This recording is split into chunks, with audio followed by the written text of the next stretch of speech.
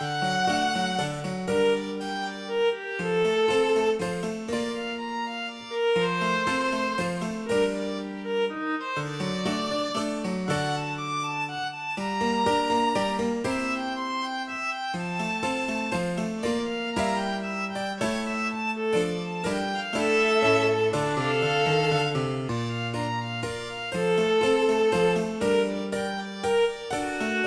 Hello everybody and welcome to Friday's 5 Old Gays.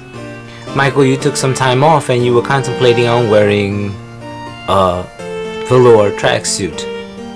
Well, I went into my closet and took out my velour tracksuit. Yes, I'm wearing my velour tracksuit. I think I'm the only one who actually attempted to wear theirs. But don't judge me. Don't judge me. I'm not a silver fox yet.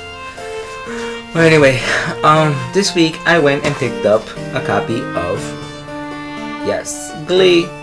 Love it, love it, love it, love it. I am so amazed by it, love it, just crazy about it. But there was one that was through my generation.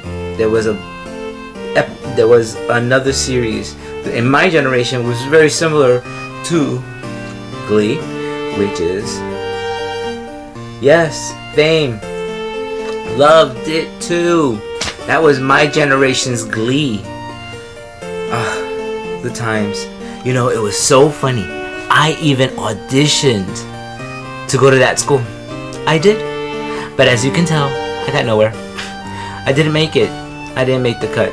So in a way, it's kind of bittersweet looking at all these kids making it in all these series and stuff like that and it makes me happy to see it but at the same time wish it were me.